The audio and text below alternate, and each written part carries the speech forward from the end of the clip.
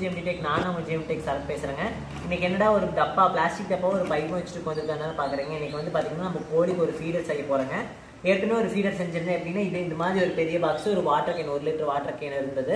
அதை கட் பண்ணி அதில் வந்து சிமெண்ட் போட்டு செஞ்சிருந்தோம். சரி இன்றைக்கி வந்து இந்த பைப் இருந்தது. ஏற்கனவே கொஞ்சம் பத்தில் கோழிங்களுக்கு குஞ்சு கோழிங்களுக்கு. ஸோ அதனால் இன்னொன்று செய்யலாம்னு சொல்லிட்டு சரி டக்குன்னு அதை அப்படியே ஒரு யூடியூப் வீடியோவை எடுத்துடலாம் அப்படின்னு சொல்லிட்டு எடுத்தேங்க.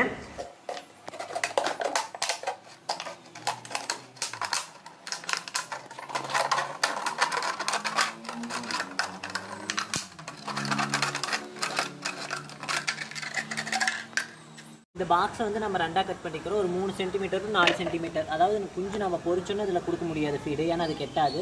ஒரு ஒன் வீக் ஆனதுலேருந்து நம்ம இதில் கொடுக்க ஆரம்பிச்சுக்கலாங்க. அப்போ வந்து ஒரு மூணு சென்டிமீட்டர் டு நாலு சென்டிமீட்டர் அளவுக்கு நம்ம இதை வந்து கட் பண்ணிட்டு இதோட அடிப்பாட்டு இருக்குது பார்த்தீங்களா அதை எடுத்து வச்சுக்கலாம். நீங்கள் வந்து வாட்டர் கேன் வச்சுருந்தீங்கனாலும் வாட்டர் கேனில் வந்து ஒரு ரெண்டு இன்ச் அதாவது வந்து ஒரு ரெண்டு சென்டிமீட்டர் விட்டு அதாவது உங்களுக்கு அகலம் தெரியும். இதோ பாருங்கள் ஒரு அப்ராக்சிமேட்டாக எடுத்துகிட்டு நீங்கள் வாட்டர் கேன் எடுத்துக்கலாம். நான் போன டைம் வாட்டர் கேனை பண்ணியிருந்தேன். சரி அந்த பைப் வேஸ்ட்டாக இருந்தாலும் அந்த பைப் எடுத்துகிட்டு இல்லை இப்படி ஒரு ஓஸ் இருந்தாலும் சரி உங்களுக்கு வாட்டர் கேன் இருந்தாலும் சரி. இப்போ இதில் வந்து இதளவு இந்த இந்த அளவு ஓட்டை போட்டிங்கன்னா இந்த ஓட்டை வந்து உள்ளே போகணும். தெரியுதா? நான் கட் பண்ணியிருக்கிறது வந்து உள்ளே போயிருக்கு. இதுக்கு கீழே வரைக்கும் நீங்கள் சிமெண்ட்டு போட்டணும் இந்த ஓட்டை கட் பண்ண ஓட்டைக்கு கீழே வரைக்கும் சிமெண்ட்டு போட்டணும் அப்போ வந்து உங்களுக்கு அந்த சைடில் விட்டு தின்றும். நீங்கள் வந்து அகலமாக பெரிய இதில் வைக்கலாம் பட் என்னோட எனக்கு என்ன பிரச்சனைனா கோழி வந்து போட்டு பறச்சு அந்த ஃபீடை ஃபுல்லாக கீழே தள்ளிடுது ஸோ அதனால் சைடில் வந்து கொஞ்சம் கொஞ்சமாக மொல்லமாக சாப்பிட்டாலும் பரவாயில்ல மொல்லமாக சாப்பிட்டோம் அப்படிங்கிறக்காக இந்த மெத்தட் நான் ஃபாலோ பண்ணேன். ஒன் டைம் பண்ண சக்ஸஸ்ஃபுல்லாக இருந்தது அதனால் அதை மறுபடியும் பண்ணுறேன் இப்போ பாருங்கள் இதை எடுத்துகிட்டு இதில் ஃபுல்லாக கலவையை நம்ம கொட்டிடணும். ஃபஸ்ட்டு ஸ்டார்டிங்கில் வந்து கொஞ்சம் கீழே போட்டுருங்க அந்த கிரிப்புக்காக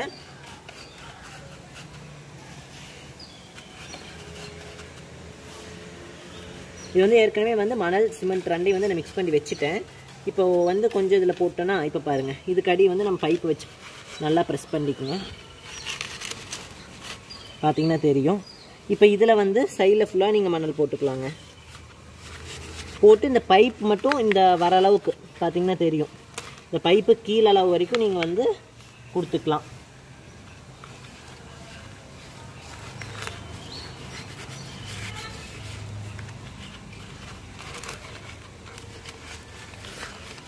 சிம்பிள் தாங்க இருக்கிறதுலே ரொம்ப. ரொம்ப ஈஸி தான். நீங்கள் வந்து சிம்பிளாக ஒரு சின்னதாக இப்படி ஒரு இது இருந்தால் அதை வச்சு நீங்கள் பண்ணிடலாம். ஆஹ்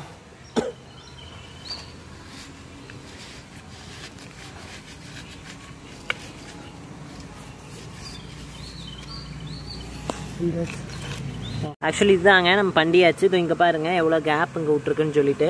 ஆக்சுவலி வீடியோ எடுக்கிற கால் இல்லைங்கிறனால முடிச்சிட்டேன். நான் சொன்ன மாதிரியே தான் அதை வந்து கட் பண்ணிக்கோங்க. இது வந்து கொஞ்சம் மேலே இருக்கட்டும். இப்போ இது மெயினாக இது பண்ணுறது எதுக்குன்னா குஞ்சு கோழிக்குங்க. ஏன்னா கோழி வந்து கொஞ்சம் இது அகலமாக வச்சோம்னா போட்டு பறச்சு கீ ஃபீடை கீழே தள்ளிடுது. ஏன்னா கிலோ நாற்பது ரூபா ஐம்பது ரூபாய்க்கு விற்குது இல்லைங்களா கோழி சுற்றி இவனெல்லாம். ஸோ அதனால் அது கரெக்டாக லிமிட்டாக குஞ்சுங்க மட்டும் தலையிட்டு சாப்பிட்டுக்கிற மாதிரி கோழி லைட்டாக மட்டும் தலையிட்டு சாப்பிட்டுக்கிற மாதிரி தான் வச்சுருக்கேன். கொஞ்சம் க சாப்பிட்றதுக்கு வந்து பொறுமையாக தான் சாப்பிட முடியும். இருந்தாலும் வந்து ஃபுல் டே இருக்குல்ல அதனால் அது பொறுமையாக சாப்பிட்டுக்குங்க. இப்போ இதில் வந்து கொஞ்சம் பெரிய பைப் கொடுத்துருக்கேன். இதில் வந்து இந்த அளவு ஃபில் பண்ணிட்டேன். அடி கடைசி வரைக்கும் விட்ட அளவுக்கு வந்து இந்த சிமெண்ட்டு மணல் ஃபில் பண்ணிட்டேன். இப்போ இது வந்து ஜீரோ பட்ஜெட் தாங்க. உங்களுக்கு வந்து பைப் போட்டதுனால வேஸ்ட் பைப் தான் நான் எடுத்திருக்கேன். மெயினாக நீங்கள் செலவு பண்ண அப்படின்னா ஒரு நூறு கிராம் டு நூற்றம்பது கிராம் சிமெண்ட் வேணுங்க அவ்வளோதான் அதுவே அதிகம் தான் உங்களுக்கு நூறு கிராம் டு நூற்றம்பது கிராம் இருக்கும். மணல்லாம் உங்களுக்கு ஏரியாலே இருக்கும். வில்லேஜ் ஏரியா இருந்ததுன்னா கண்டிப்பாக உங்களுக்கு அங்கங்கே கிடைக்கும். அதுலேயே எடுத்து பாருங்கள் அந்த மணல் தான் இது. அதுலேயே எடுத்து நம்ம வந்து போட்டிருக்கோம். அவ்வளோதாங்க இது. உங்களுக்கு காஞ்சதுக்கப்புறம் வேணாம் நான் இதை அப்படியே காட்டுறேன் உங்களுக்கு எப்படின்னு சொல்லிட்டு. ஃபுல்லாக மணல் போட்டு கரெக்டாக இது பண்ணிவிட்டு இதில் குழியில் கரெக்டாக கொட்டினா ஃபீடு வந்து இதில் கரெக்டாக லிமிட்டாக விழுந்து விழுந்துட்டே இருக்கிற மாதிரி கான்செப்டில் பண்ணியிருக்கோம். Okay friends thank you